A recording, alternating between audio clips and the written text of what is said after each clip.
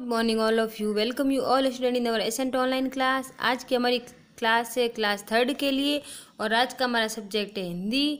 तो बच्चों, हमने पिछली क्लास में हमने हिंदी व्याकरण की बुक में से पढ़ा था और उसके लगभग पाँच पार्ट हमने पूरे कर लिए हैं और सब बच्चों ने क्वेश्चन आंसर भी कर लिए हैं और लगभग काफ़ी बच्चों ने नोटबुक भी चेक करवा ली हैं।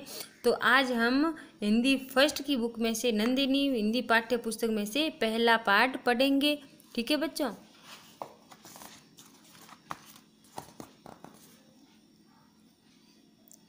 सारा जग उसके गुण गाता।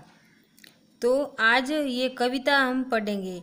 सारा जग उसके गुण गाता। शिक्षण संकेत। इस कविता में ईश्वर के बारे में बताया गया है जिन्होंने पूरे संसार की रचना की है और प्रकृति द्वारा हमें बहुत कुछ दिया है। इसलिए सारा जग है जो उनका गुणगान करता है और ईश्वर की पूजा करता है। तो बच्चों, मैं ये कविता पढ़ूँगी। आपको भी मेरे साथ साथ पढ़ना है। ठीक है? जिसने ये तारे चमकाए, जिसने सूरज चाँद बनाए, जो दिन करता, रात बनाता, सारा जग उसके गुण गाता। मतलब जिसने यह तारे चमकाए हैं, तारे सितारे चमकाए हैं, जिसने सूर्य चंद्रमा भगवान बनाए हैं, जो दिन भी करता है, जो रात भी बनाता है, और सारे जग उसके गुण गाता है तो वह कौन है? वह है भगवान। क्योंकि भगवान ने ही तारे भी बनाए हैं, सूरज भी बनाया है, चंद्रमा भी बनाया है तो इसलिए हम सब है जो ईश्वर की पूजा करते हैं। सर्दी जाती, गर्मी आती, वर्षा आती, जल बरसाती, जो पतझड़ फिर वसंत लाता, सारे जग उसके गुण गाता। तो देखो, ये भगवान की रचना है, ये भगवान के बनाए गए नियम हैं। ऋतुएँ भी अपने समय पर आती हैं, पहले सर्दी आती है, फिर उसके बाद में सर्दी जाती है तो गर्मी आ जाती है, फिर गर्मी जाती है तो वर्षा ऋतु आती है और वहाँ पे जल बरसाती है। फिर वर्षा ऋतु के बाद में पतझड़ आता है और पतझड़ के बाद में फिर वसंत आता है। इसलिए सारे जग हैं जो ईश्वर के गुण गाता है। हरे भरे ये खेत उगाए, ऊँचे पर्वत खूब बनाए। जब वर्षा होती है तो सारा, सारे खेत हरे भरे हो जाते हैं और पर्वत भी देखो आप कितने बड़े बड़े ऊँचे ऊँचे पर्वत बनाए हैं। झील नदी का जो जलदाता सारा जग, उसके गुणगात। झील भी बनाई है, नदियाँ भी बनाई है। नदियों के अंदर जो जल भरता है, उसको जलदाता बोलते हैं। तो वो भी सब कौन है? किसने बनाए हैं? उसकी रचना ईश्वर ने की है। इसलिए सारा संसार है जो जग यानी संसार, सारा संसार है जो उनके गुण गाता है। जिसने कीट पतंग बनाए, नाना पशु पक्षी उपजाए। जिसने कीट पतंग यानी छोटे छोटे कीट होते हैं ना, उसने किसने बनाए हैं? भगवान ने। और नाना पशु पक्षी, नाना यानी अनेक प्रकार के पशु पक्षी भी बनाए हैं, है ना? फिर जो अनाज फल फूल उगाता, सारा जग उसके गुण गाता। जो भगवान है, वो अनाज, फल, फूल सब उगाता है, इसलिए सारा जग उसके गुण गाता है। तो आज अपन पाठ यहीं तक पढ़ेंगे, फिर थोड़ा सा जो रह गया है, वो अपन नेक्स्ट क्लास में पढ़ेंगे। इसके शब्दार्थ हैं किला यानी गढ़, सारा यानी पूरा, पर्वत यानी पहाड़, कीट पतंग यानी कीड़े मकोड़े, अनाज यानी अन्न, शीश यानी सिर, शरारत यानी शैतानी, गुण यानी विशेषता, झील यानी प्राकृतिक सरोवर, नाना यानी अनेक या बहुत, जीवन यानी ज़िंदगी, तारे यानी सितारे, जग यानी दुनिया या संसार, जलदाता यानी जल देने वाला, उपजा यानी पैदा किए, रखवाला यानी रक्षक। तो शब्दार्थ आपको अपनी कॉपी में करने हैं। ठीक है? फिर मौखिक ये सिर्फ़ आपको पढ़ो और बोलो। आप पढ़ोगे, बोलोगे, अभ्यास करोगे, तब आपको हिंदी की किताब पढ़नी आएगी।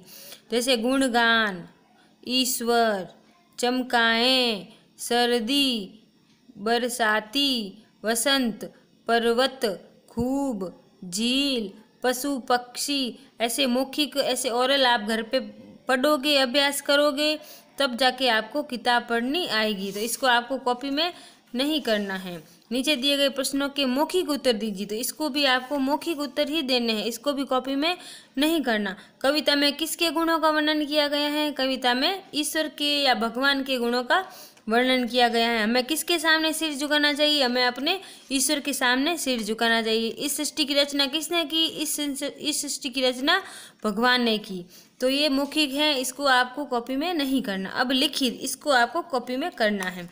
ठीक है? सही उत्तर पर सही का निशान लगाओ। पतझड़ का मौसम किस ऋतु के बाद आता है?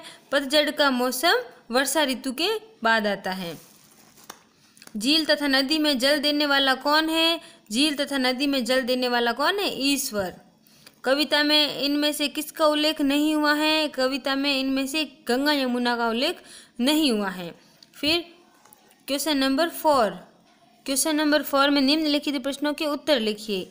कविता में वर्णित ऋतुओं के नाम लिखिए। कौन कौन सी ऋतु आई है? सर्दी, गर्मी, वर्षा, पतझड़ और वसंत। ठीक है तो ये ऋतुएँ आई हैं। कविता में किसको माता पिता कहा गया है? कविता में ईश्वर को माता पिता कहा गया है क्योंकि ईश्वर ने ही हमें जीवन दान दिया है। कविता का भावार्थ अपने शब्दों में लिखिए। कविता का भावार्थ क्या है? कविता का यही भावार्थ है कि इस कविता में ईश्वर के बारे में बताया गया है, जिन्होंने पूरे संसार की रचना की है और प्रकृति में, प्रकृति द्वारा हमें बहुत कुछ दिया है, इसलिए सारा जग उनका गुणगान करता है और ईश्वर की पूजा करता है।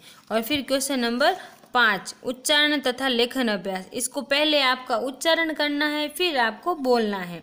जैसे सूरज तो ऐसे बोलोगे, बाद में लिखोगे, चाँद, वसंत, पतझड़, पर्वत, अनाज। तो ये सब है जो एक शब्द है, इनका पहले उच्चारण करना है इसको बोलोगे, बोल बोल के लिखोगे।